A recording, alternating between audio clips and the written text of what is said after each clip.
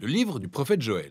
C'est un petit recueil de poèmes prophétiques qui sont aussi puissants que déroutants. Joël est unique parmi les prophètes, et ce pour plusieurs raisons. Tout d'abord, il n'existe aucune indication claire quant à la date à laquelle ce livre a été écrit. Mais il s'agit très probablement de la période d'Esdras-Néhémie après le retour de l'exil, car il est fait mention de Jérusalem et du Temple. Mais il semblerait qu'il n'y avait pas de roi. Une autre singularité de Joël est qu'il est clairement familier des différents livres propres aux Écritures.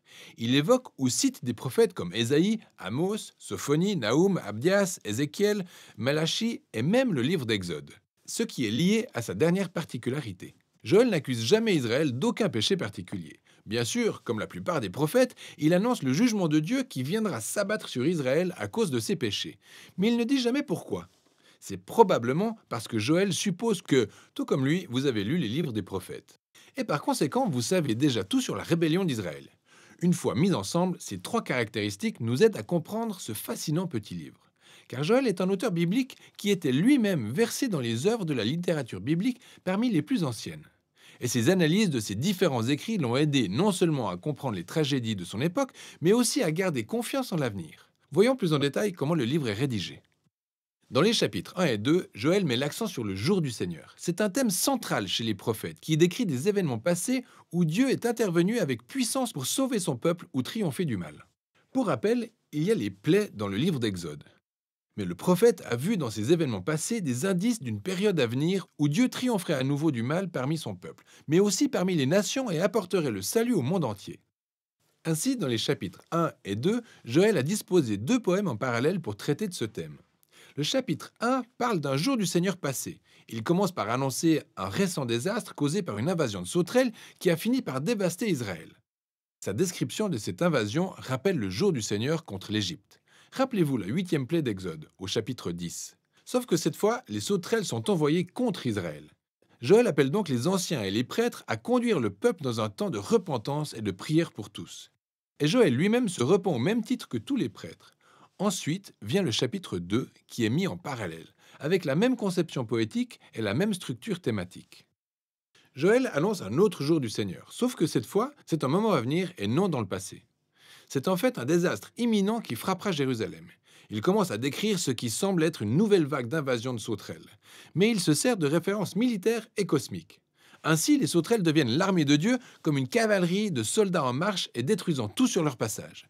Puis le soleil s'obscurcit, la terre se met à trembler, et Joël qui dit Le jour du Seigneur est terrible, qui pourra le supporter? Et une fois de plus, Joël invite les gens à prier et à se repentir, en leur précisant comment s'y prendre. Déchirez vos cœurs et non vos vêtements, et retournez vers votre Dieu. En clair, Joël est pleinement conscient que pour certains, le fait de se repentir est un rôle qu'il joue pour sortir du pétrin. Il souligne donc que Dieu n'est pas intéressé par ça, car il veut que son peuple change véritablement et fasse une croix sur ses tendances égoïstes et tous ses mauvais actes. Ensuite, Joël explique pourquoi Israël gagnerait à se repentir. C'est parce que Dieu est plein de grâce et compatissant, et il est lent à la colère et riche en amour. Il cite ici le livre d'Exode rappelant comment Dieu a pardonné à Israël après l'épisode du veau d'or. Car grâce à cette histoire, Joël a compris que la compassion et l'amour de Dieu sont plus puissants que sa colère et son jugement. Et au final, c'est lui qui se retrouve à conduire le prêtre dans le processus de repentance et de prière afin de demander à Dieu d'épargner son peuple.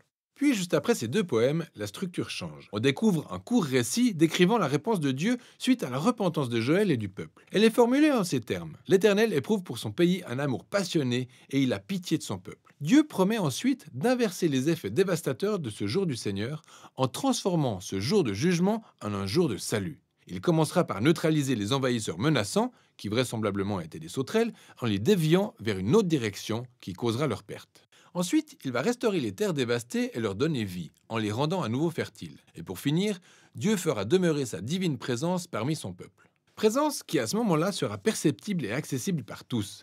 Alors, jusqu'ici, les poèmes racontent une puissante histoire sur Joël amenant Israël à ouvrir les yeux sur leurs péchés pour voir comment il les conduisait au désastre et au jugement divin et qu'avec le Dieu de compassion, il y a toujours de l'espoir. Mais dans tous ces événements passés, Joël voit une image du jour du Seigneur à venir.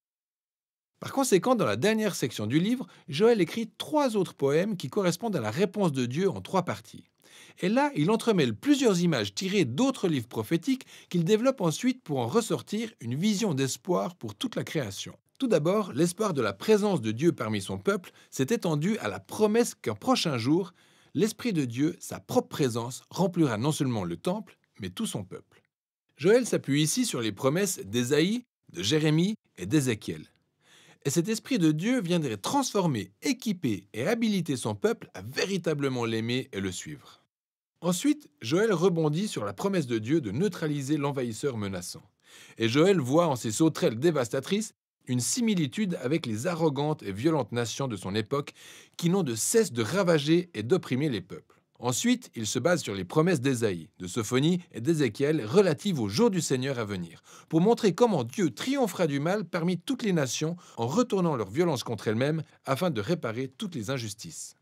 Et pour finir, Joël croise différentes images relatives à la restauration du pays où il perçoit un espoir pour le renouvellement de toute la création. Ensuite, il s'appuie sur les promesses d'Ésaïe, d'Ézéchiel et de Zacharie et ressort que le jour de la justice finale de Dieu sera suivi d'une restauration du monde entier. Un nouvel Éden, où la présence de Dieu à Jérusalem s'écoulera comme une rivière et déversera son renouvellement cosmique. Le poème de Joël s'achève sur le pardon et la miséricorde de Dieu, ouvrant la voie à une toute nouvelle création. Ainsi, ce tout petit livre de Joël est celui qui explore en profondeur le lien entre les péchés et défaillances de l'homme et l'ampleur des dévastations qu'ils peuvent susciter dans notre monde. C'est aussi lui qui souligne à quel point Dieu aspire à manifester sa compassion à ceux qui reconnaissent et confessent leurs péchés. Sans oublier qu'il relève comment tous ces points conduisent à espérer qu'un jour, Dieu triomphera du mal dans notre monde et aussi en nous, afin de nous communiquer sa présence réparatrice et de renouveler toutes choses.